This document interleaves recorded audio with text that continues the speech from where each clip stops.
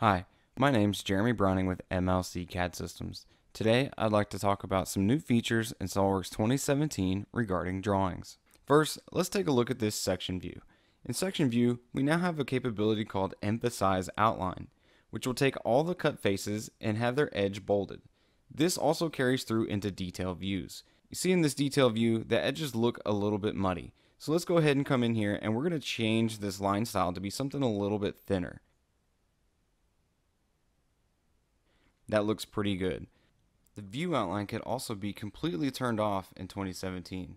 Alternatively, we have an option called jagged outline, which will give you a little rough around the edges look.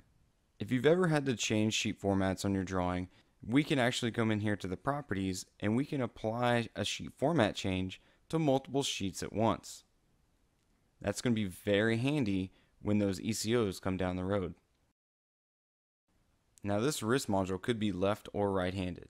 In 2017, we have the ability to mirror views both horizontally and vertically, which saves you the time of having to go create a separate subassembly altogether. Finally, in SOLIDWORKS 2017, you have the ability to directly reference any cell within a table. Simply fire off a note and then select the cells that you want to use. Here, I'm going to use quantity and description to build a custom note. So some great improvements to help you get your drawings completed faster and more accurately in SOLIDWORKS 2017.